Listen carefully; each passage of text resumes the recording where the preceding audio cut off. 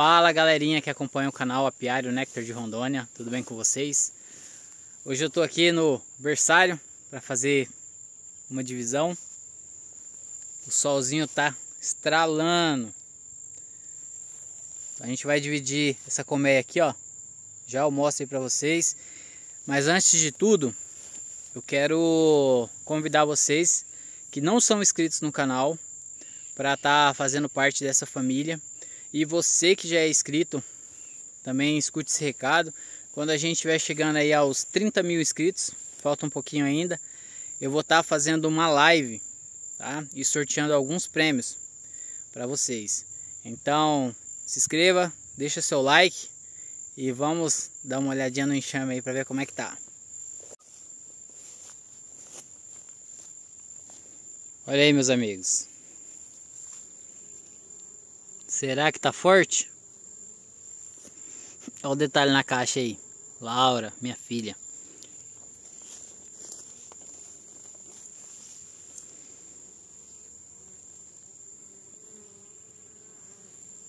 Não fiz fumaça ainda no enxame, tá?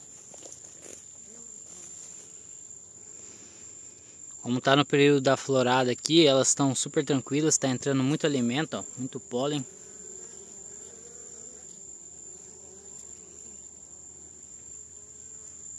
Então vamos pegar o material ali.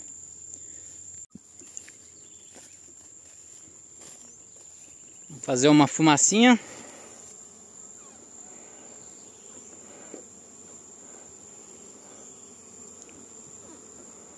O fumigador estava muito cheio de maravilha, acabou jogando um pouquinho aqui, ó.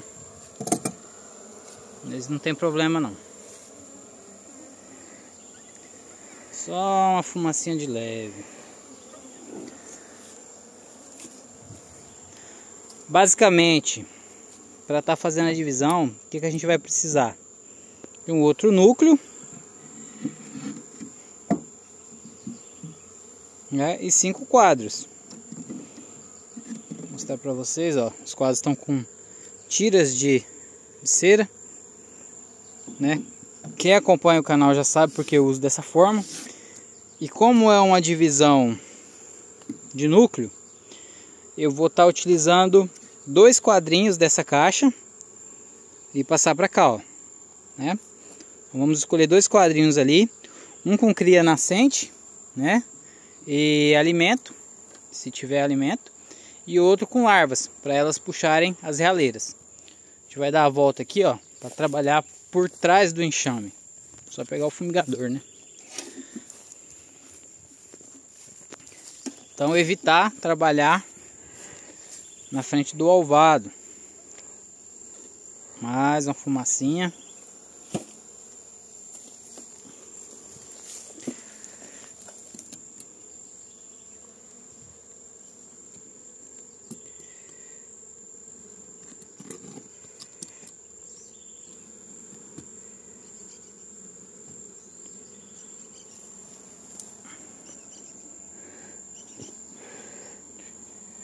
Pessoal, sempre importante fazer uma fumaça tranquila no enxame aí, tá? Deixar ele sentir bem a fumaça. Porque depois que o enxame tá agressivo, né, que já se tornou defensivo, não adianta mais. Ó, o enxame tá bem populoso, bem bonito mesmo.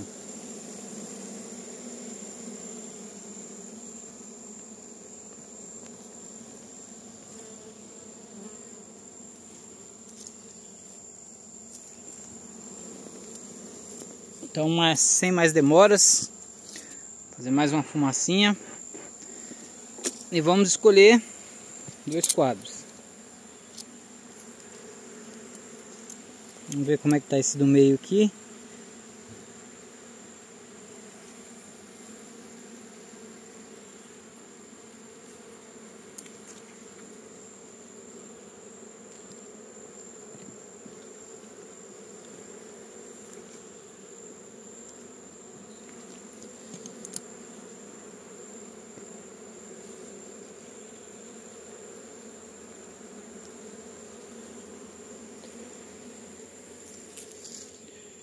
Tentar filmar para vocês. Olha aí.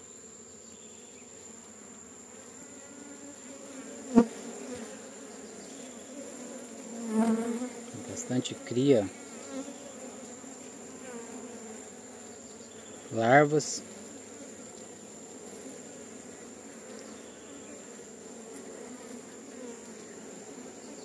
Deixa eu ver se dá para focar aqui. Ovos lá dentro. Não, não vai dar pra ver aqui, peraí.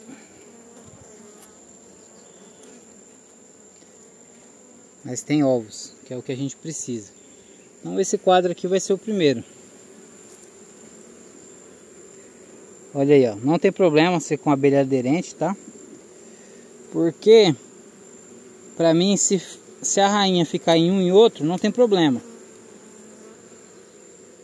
Tem, tem muita abelha, né? Tem muita abelha, como vocês podem ver, ó. Olha aí como está esse núcleo. Esse núcleo facilmente poderia ser transferido para uma caixa padrão, tá? Só que aqui, como é um berçário, precisa ter enxames. Né? Ó, tá bem vazio, ó. Bem vazio mesmo. Então precisa ter enxames aqui. Então esses quatro enxames aqui ficaram para mim repovoar esse berçário. Mas ó, facilmente a gente poderia colocar em uma caixa ninho, né? Padrão aí 10 quadros, Langstroth. E colocar para produção de mel. Mais uma, uma fumacinha para ter como a gente trabalhar, né?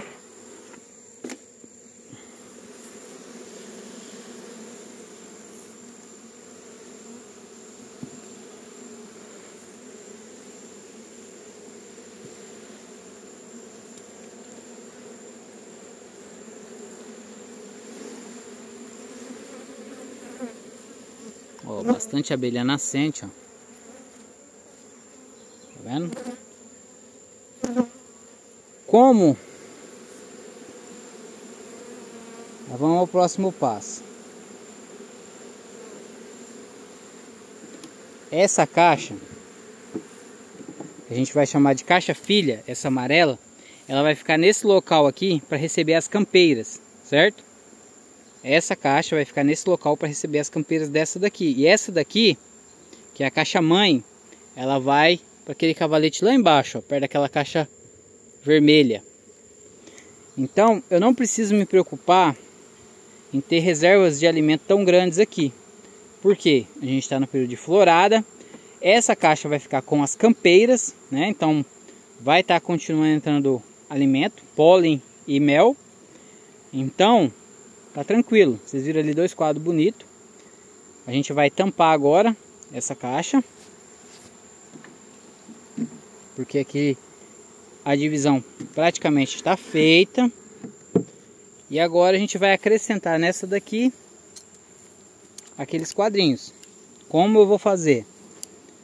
Eu vou colocar eles divididos, não vou colocar no mesmo local, certo? Para que as abelhas possam puxar novos favos.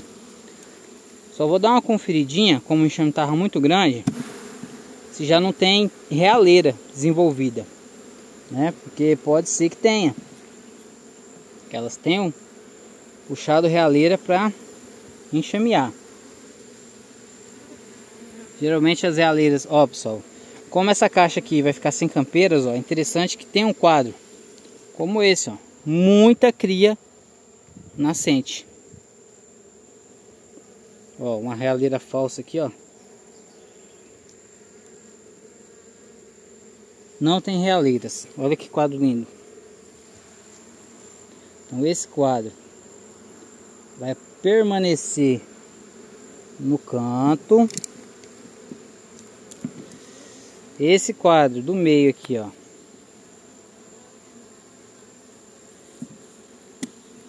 Vai ficar bem aqui.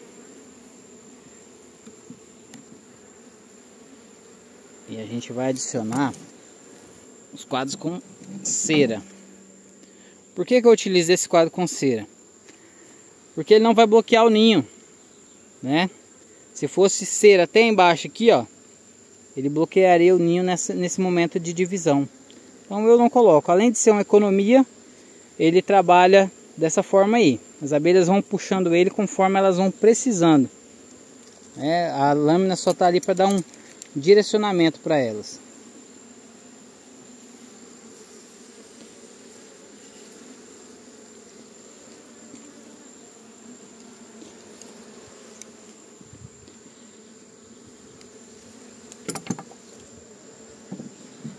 o outro.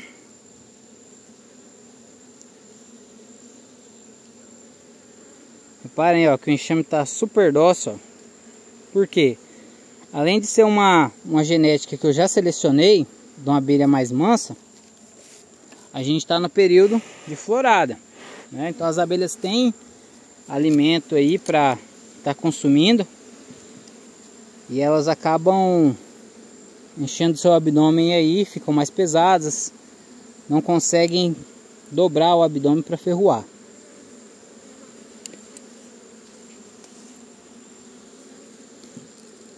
Sempre descolar os quadrinhos do canto, ó.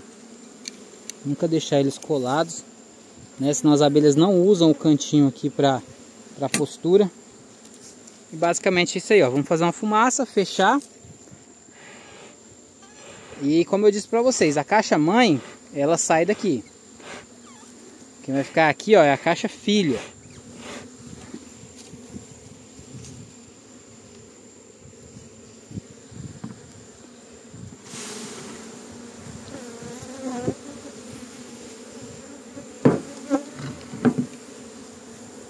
Uma fumacinha, tem muita abelha.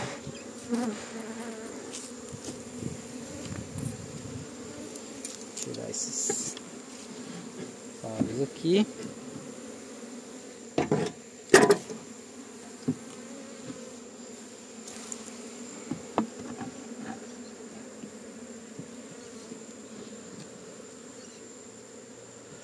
Nesse momento, a gente não precisa de estar tá fazendo a alimentação, né?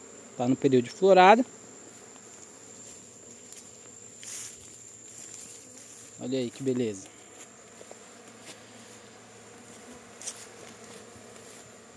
Agora vamos tirar a caixa filha daqui. Caixa mãe, desculpa. Tirar a caixa da a caixa mãe e levar ela para lá. Olha aí, ó. A caixa mãe já está por aqui. É só colocar a cobertura agora. Aqui é outro enxamezinho. Está um pouco mais fraco. Aqui eu tenho uma tiúba. Né? Quem trabalha aí com as abelhas sem ferrão. Tiúba não, pessoal, desculpa. Essa aqui é a Urussu cinzenta. O nome científico dela é Melipona grandes. É a maior melípona em questão de comprimento. Olha a cara dela aí, ó. Tem um W.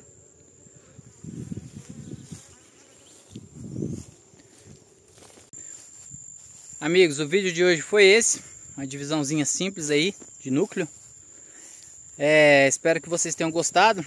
Se gostou, deixe seu like. Se não gostou, deixa o dislike aí, deixa nos comentários o que poderia ter sido melhor, né? O que vocês viram aí de vantagem nesse manejo também.